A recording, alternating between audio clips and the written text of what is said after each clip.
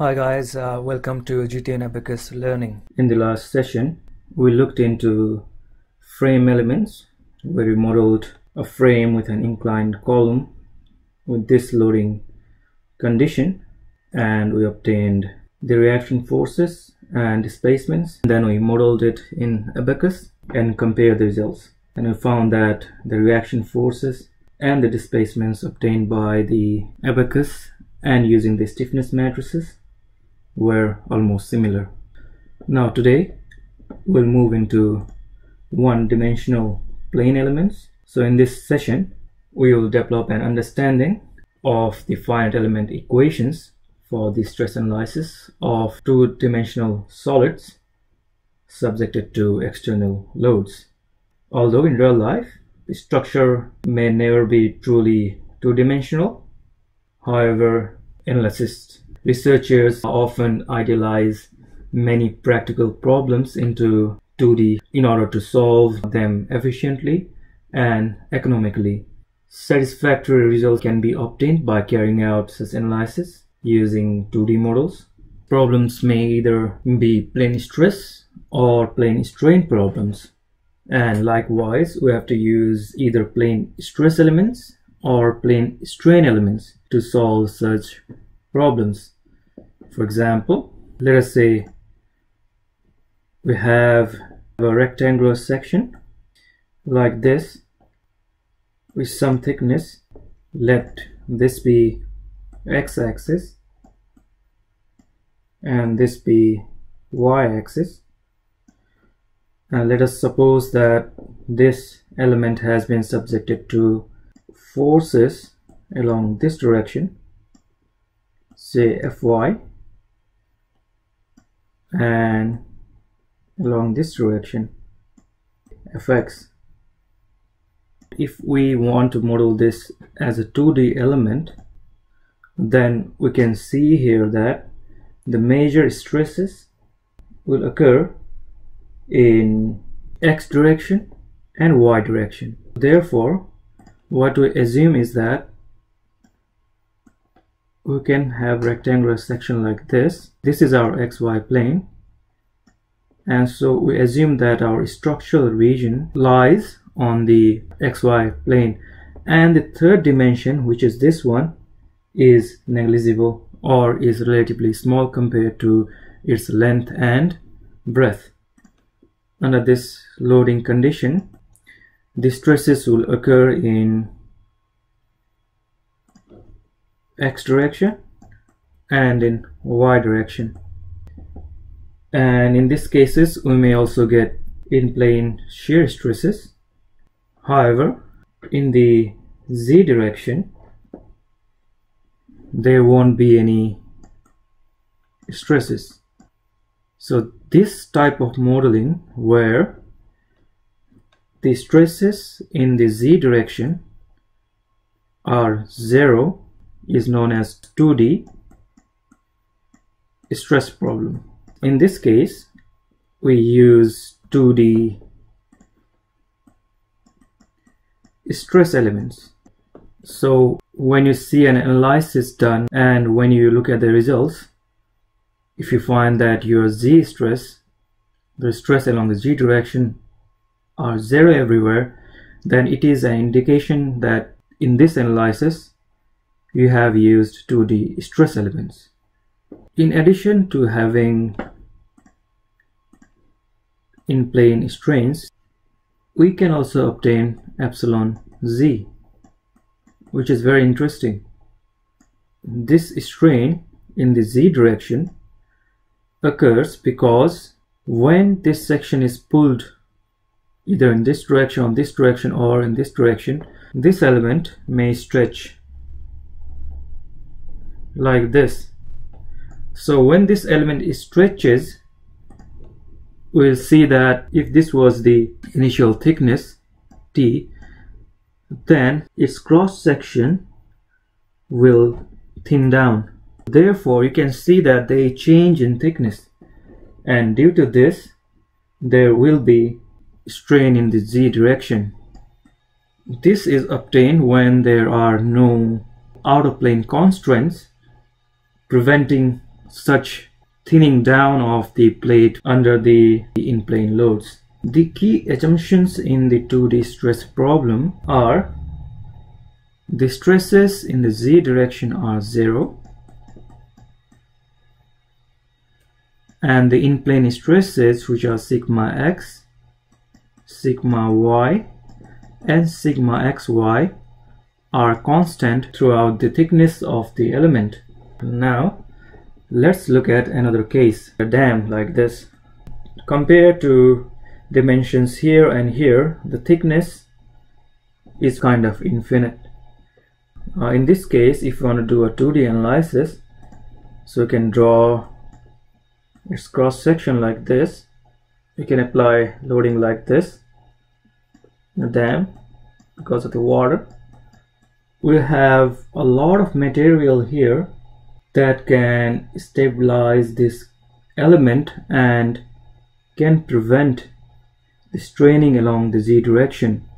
So in this case, if this is x and this is y, in this case we'll obtain sigma x, sigma y, sigma xy, and sigma z. However, the strain in z direction, which is this direction, is assumed to be zero. So this kind of condition is known as 2D strain problem. And in this case, we use 2D strain elements. The key assumption in this kind of analysis is that if we got a section here, let's say this is section 1 and this is section 2, the in-plane stresses obtained in section 2 will be equal to what we obtain in section 1. Structures where you have a uniform cross-section throughout its length are known as prismatic elements. A 2D element is generally modeled or is defined by at least three nodes like this in xy plane. We can include other nodes as well like this and can have further elements like this inside. When these elements are loaded with certain forces like this then we have to obtain our stresses which will be in vector form sigma x sigma y and shear stress. Let's say this is tau xy. And our in-plane strains. Here strain is change in the length divided by the original length. You can look into your lecture notes and see how these are derived. Generally in these elements we may be interested in finding the principal stress along the principal plane. For example if you have an element which is rotated like this and it makes an angle theta p with the horizontal x-axis and then the stresses in this region can be sigma 1 and this one can be sigma 2 now the plane in which we obtain the maximum stress is known as the principal plane. Now to obtain this theta p angle made by the principal plane with the x-axis is obtained by using this equation here. And then your sigma 1 will be equal to which is the maximum principal stress. And similarly minimum principal stress will be equal to sigma 2 which will be equal to this here minus this. So in this way you can obtain our maximum principal stress and minimum principal stress. Isotropic materials where in such material you'll have the same physical property when measured in different directions then your stress is given by strain strain matrix or constitutive matrix times strain vector. Now this matrix here is obtained as elastic modulus by 1 minus Poisson's ratio square. This equation applies for plane stress condition. But for the plane strain condition, we'll have D matrix as this is for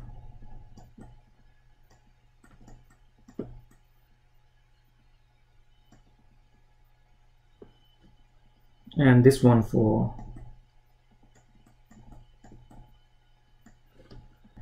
by epsilon z equals to 0 I also mean that you know, our shear strain in this direction and in this direction will also be 0 similarly stress xz and stress yz will also be 0 now we'll look into the strain vector and see how this can be obtained. Let us say that we have a triangular element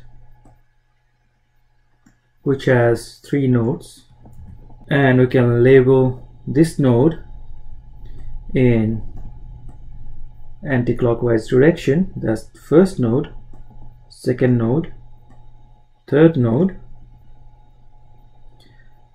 We can label this one as x1 y1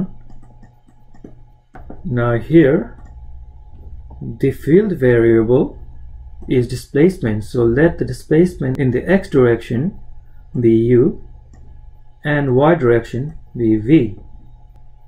So for this point if we look at its displacements we can say that the displacement occurring in the first node will be represented by u1 v1 similarly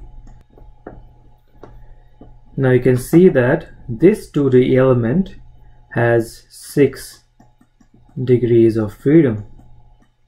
U1 v1 u2 v2 and u3 v3 we can write our displacement vector as let's look at a point here let's look at this point here.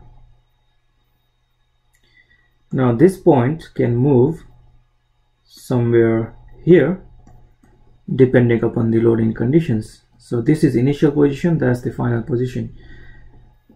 Now when you look at it we find that this point has displaced by a certain value u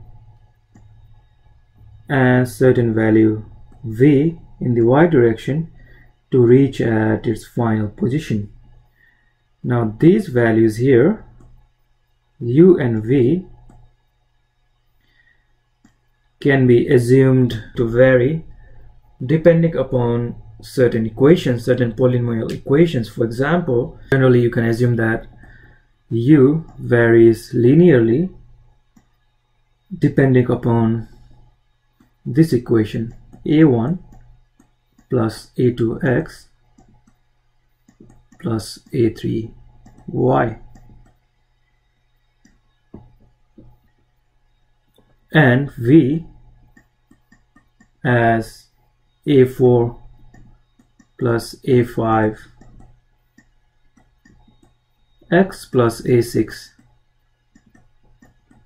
y a1 to a6 are constants and we have to find these values.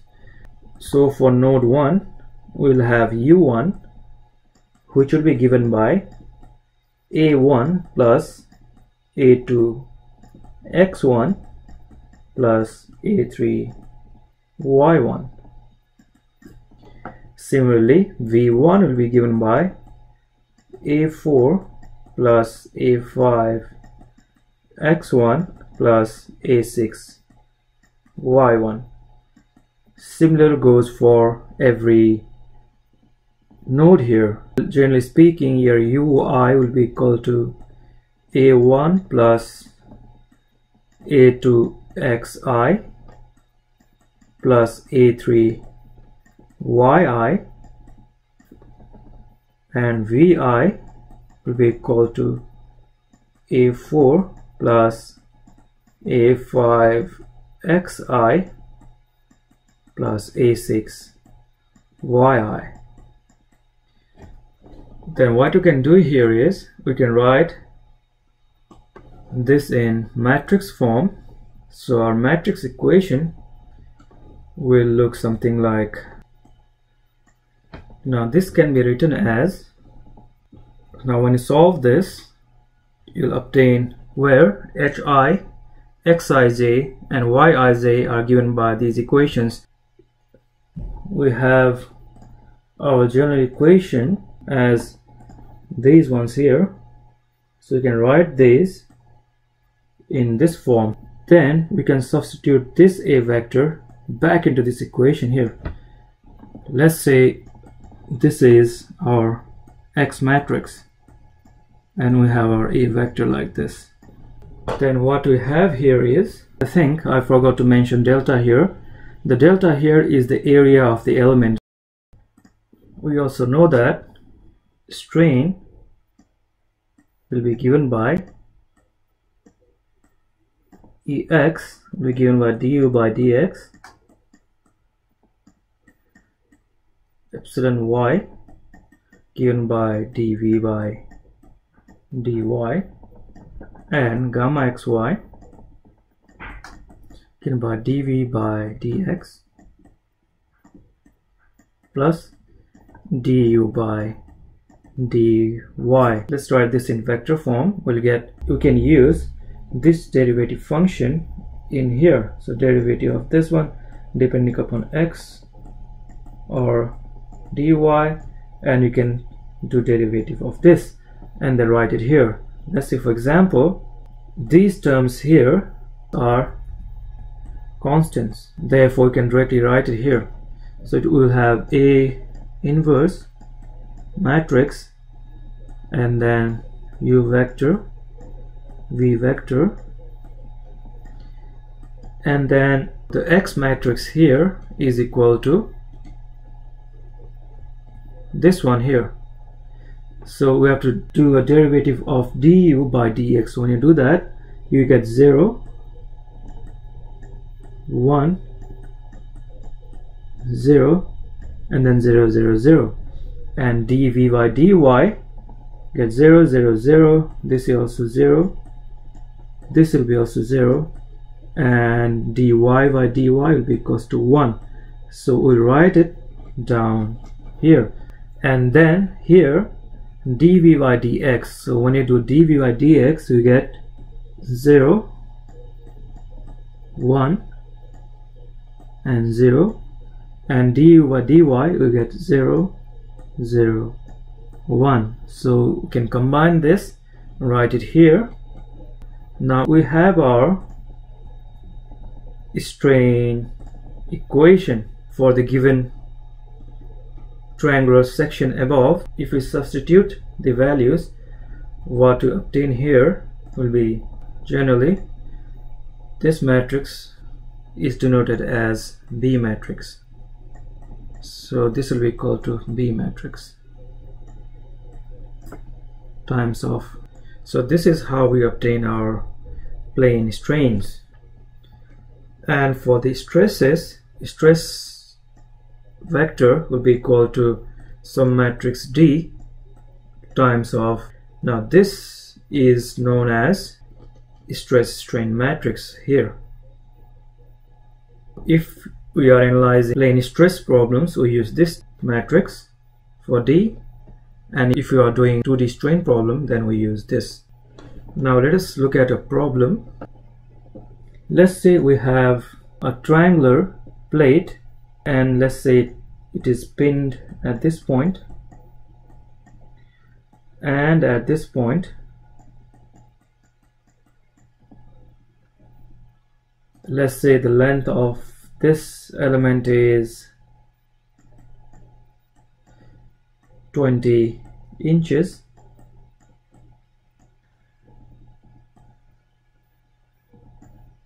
And this dimension is 10 inches we have load acting at this point. Let it be 300 pounds and this one also be 300 pounds. We are given the plate thickness T as 0.2 inches. Poisson's ratio uh, as 0.3 which is generally used for steel members. And modulus of elasticity E as 30 into 10 to the power 6 psi now the problem here is to find nodal displacements and plane stresses.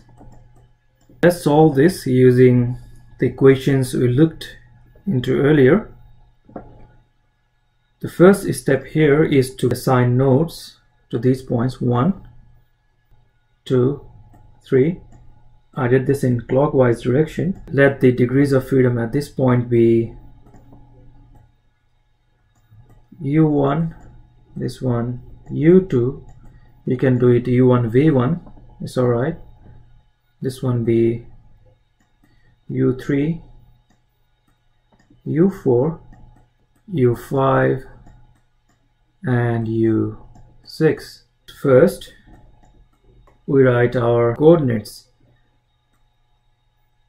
let this be x-axis let this be y-axis so node 1 will be 0 comma 0 then our node 2 will have a coordinate system as 0 comma 10 and node 3 will be 20 comma 10 so these are the locations in space of your vertices. The next step is to find your B matrix.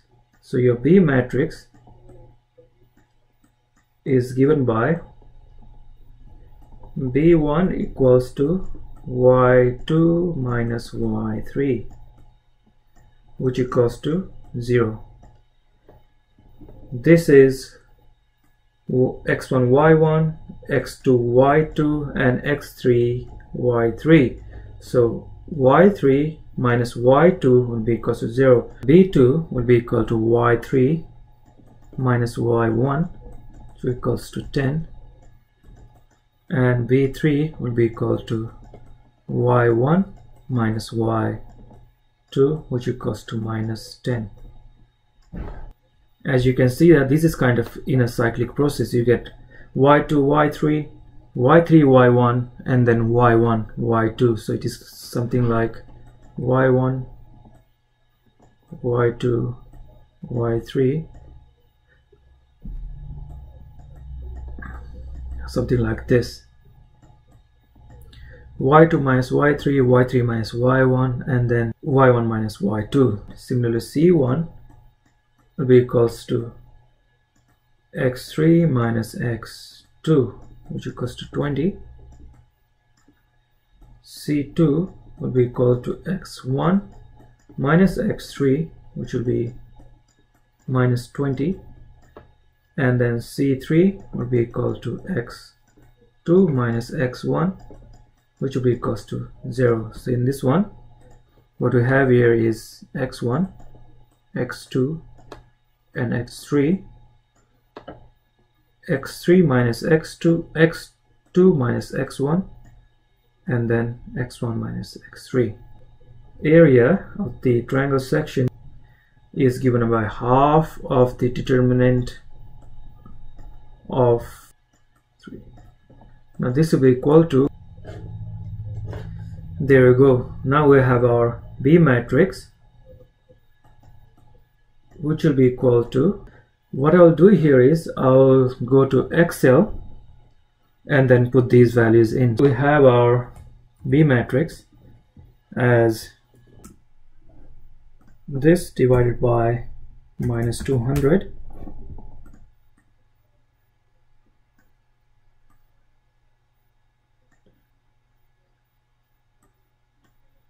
here now this is our B matrix. And then we have to find our D matrix. So D matrix will be given by this equation here. Let's say this is E is 30 into 10 to the power 6 thickness is 1 2 and then we have our Poisson's ratio as 0.3 so these are the values we are given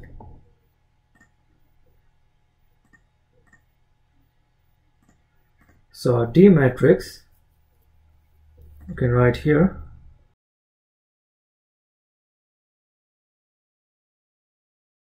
And then we can just multiply this by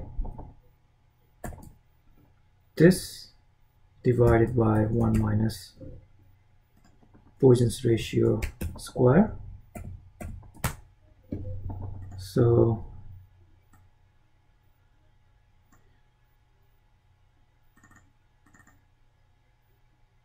oh sorry. Now to log these values in. So to log this in log this one in and then we get our matrix. So this is our D matrix here. And now we have to find our K matrix. So third step will be to find our D matrix and then we have to find our K matrix. Now the K matrix will be given by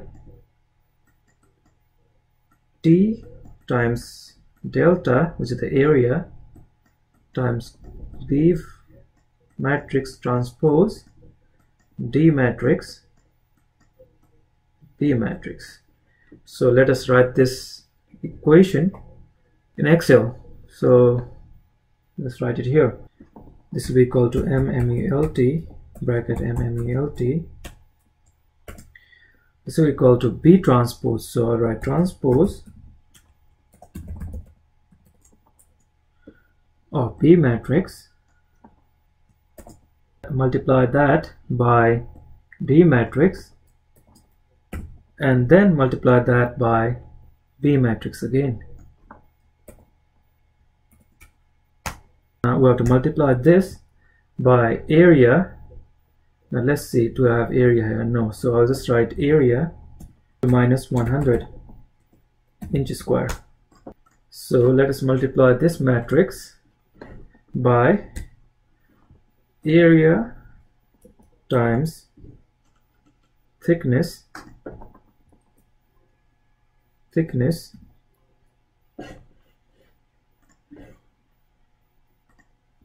thickness times this. Let us expand this. There you go. Now this is our stiffness matrix which will be in pounds per inch. Fifth step we have to get our force vector which will be equal to stiffness matrix times of force vector F which will be equal to F1 F2 5 6 and we have our displacement vector which will be u1 u2 up to u6 we write here 0 0 0 0 and this one we have to find out.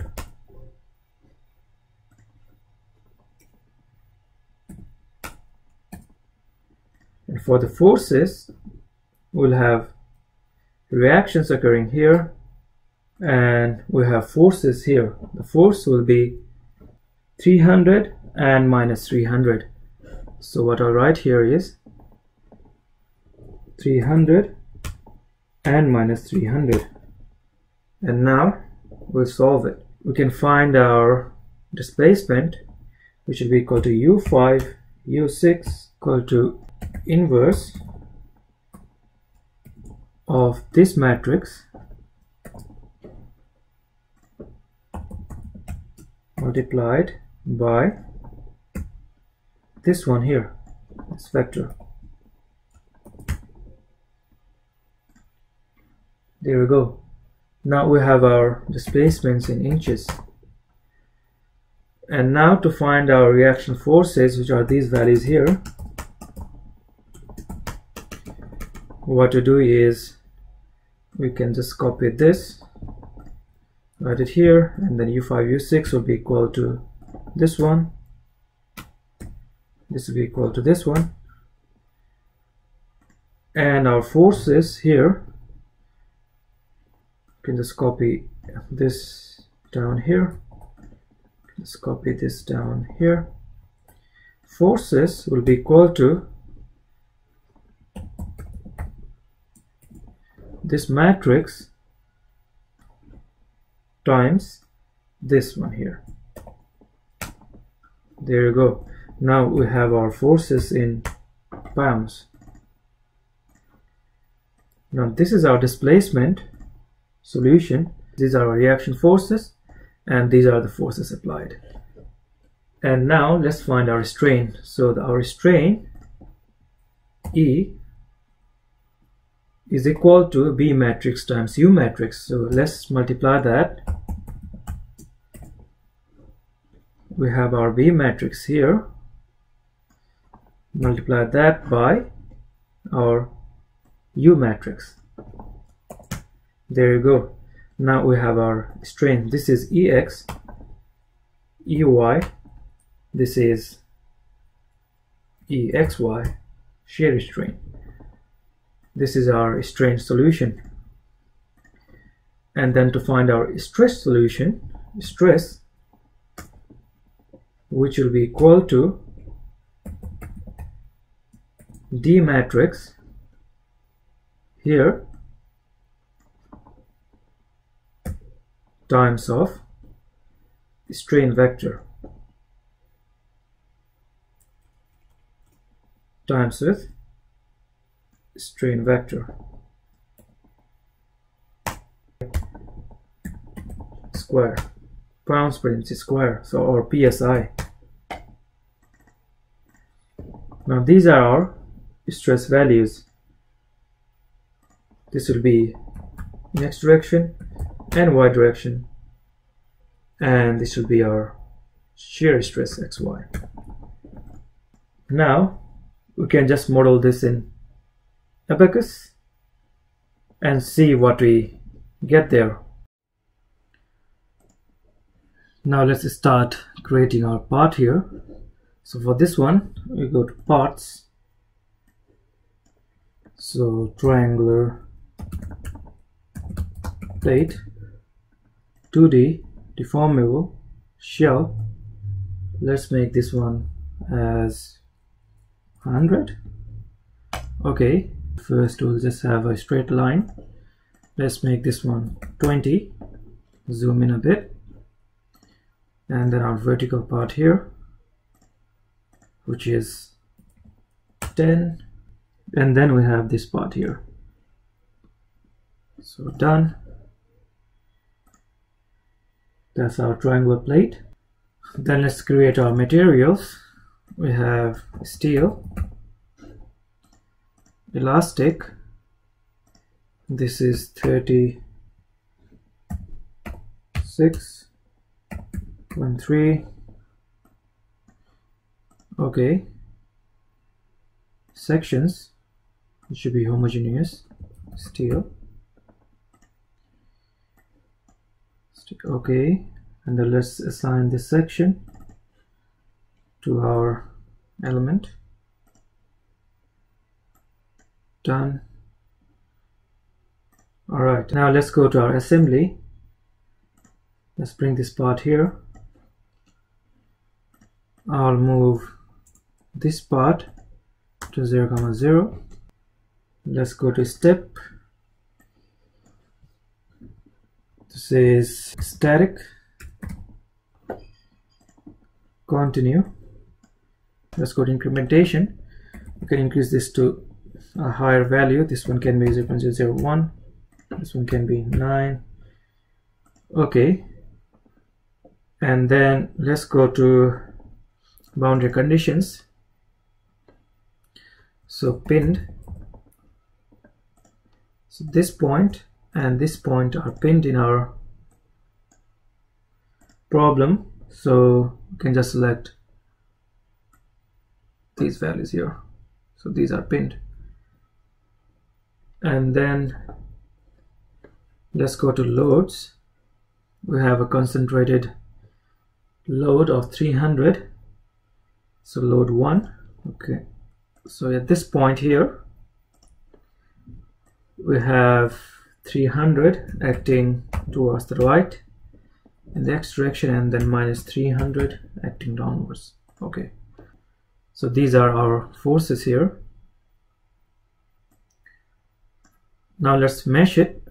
Go to mesh part. Let's go to like mesh controls. You can just go to structure. Yep for meshing abaqus provides different types of elements. In this case we'll be using 2d stress elements. So you can just go to mesh and then element type. You can select all of it. Done so let's go here. Abaqus by default has already selected plane stress for this type of problem. You can see it here. So you can just say okay. And then you can just see it. Let's say this is two inches. Apply. Let's make it one inches. Okay. Now let's just mesh it. Yes. Now we have our mesh or we can just use different type of elements. Let's say free.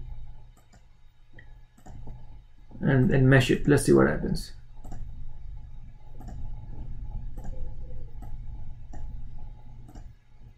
Okay. That's good. And now you can just save it.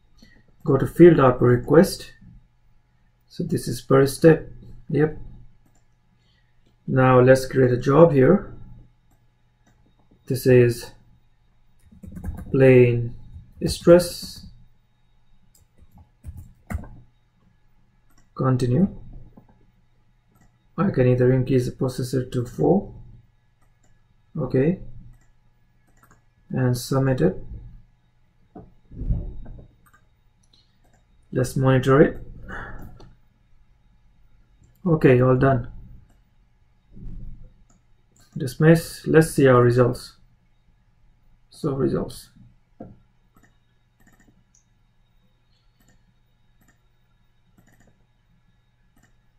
All right this has been increased by a factor of 4.7 so let us take it back to 1 1 apply. Let's play this.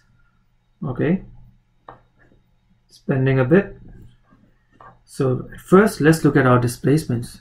Displacements u1 okay let's slow it down a bit. Okay. All right let's go to the end. And let's go to query probe values nodes and let's see this node here. So this is going in x direction by 0.1 inches. Let's see what we obtained in our analysis.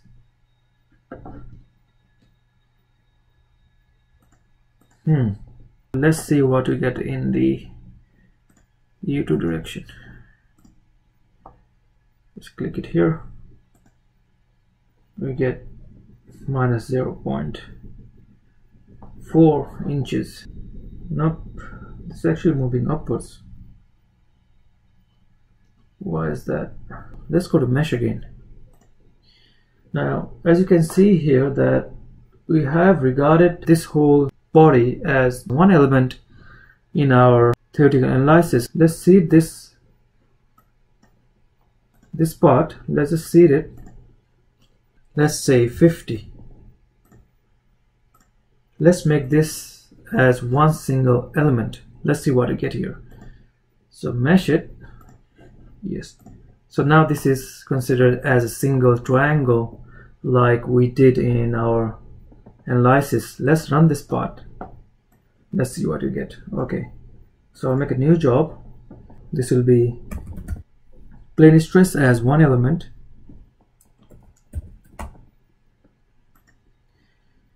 okay let's submit this. All right let's see what we get. Okay all done. Dismiss. Results? Which is this one. Okay now we'll get one single stress all around. Let's see our displacement here. Okay. Now let's go to query probe values. Let's go to u1 so here let's click here. What we're getting here is now 3.64 into 10 to the power minus 5 so let's see what we obtained in our theoretical analysis. I wonder why am I getting minus here? Maybe because see I have put area here negative, area is, is generally positive. So let's make it positive. Okay, okay, now this makes sense. A lot of sense. So this is going in, in the right direction. This is going downwards. Yep, yep, that should happen. So let's look at our displacement solution. I'm getting 0.00018 less and then from Abaqus so this equals 3.64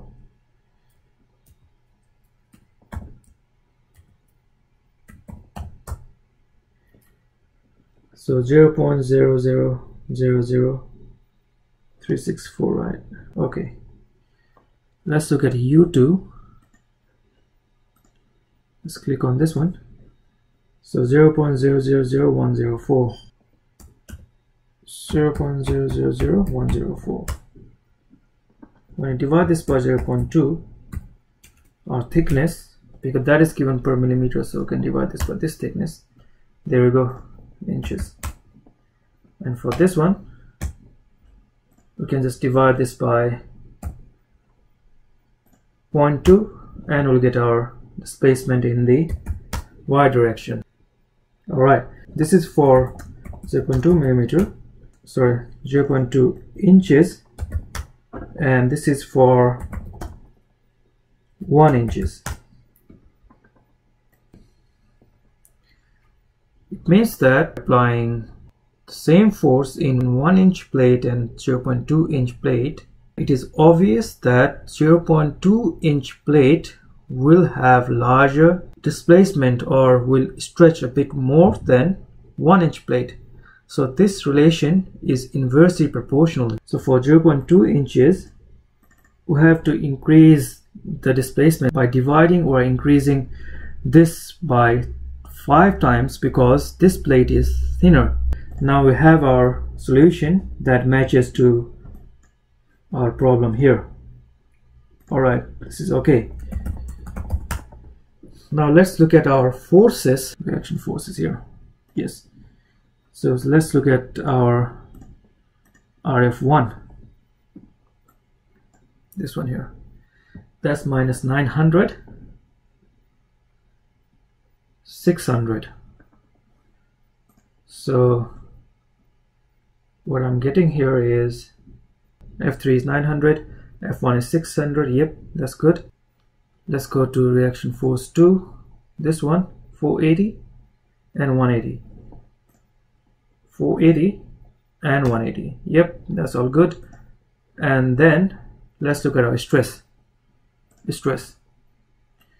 We can look at our stress in x direction which is this one. Let's go to element and just click on it.